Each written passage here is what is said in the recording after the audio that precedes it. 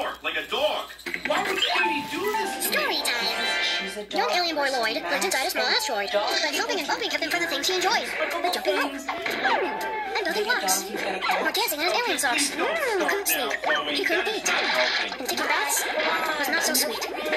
It, she said. Enough is enough. No more just bumping my house stuff. Lloyd ran to a spaceship, as if in a race. I'll make this better. Then he zipped into space. Lloyd, still annoyed, flew to a larger asteroid.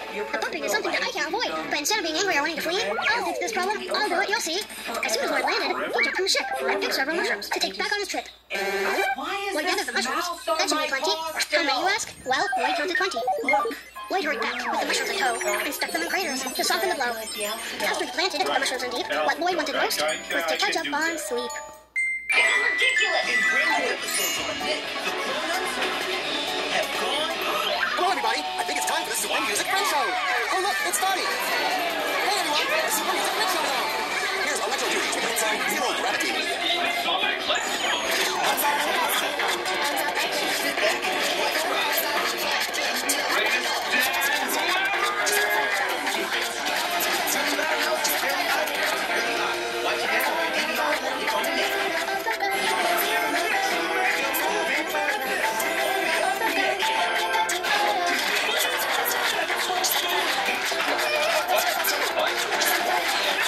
Just said, but I'm pretty sure it was inappropriate.